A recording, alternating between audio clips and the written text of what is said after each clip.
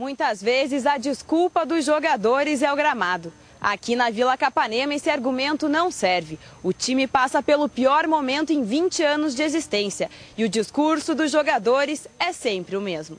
Nós se colocou nesse, nessa situação e agora tem que trabalhar bastante para sair dessa situação. Todo mundo se ajudar.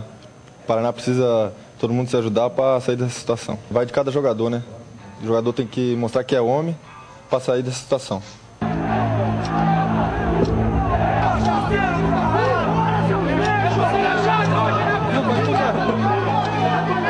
Cinco rodadas sem vencer. E para piorar, o tricolor só fez um treino e já entra em campo hoje às sete e meia contra o Ipatinga.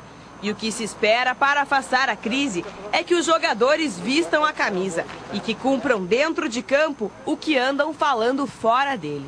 A gente sabe que a gente tem um grupo de, de, de extrema qualidade, só que a gente não adianta nada é, ficar só, só fora de campo essa qualidade. Tem que de, demonstrar dentro de campo para que a gente venha fazer boas partidas e sair com a vitória.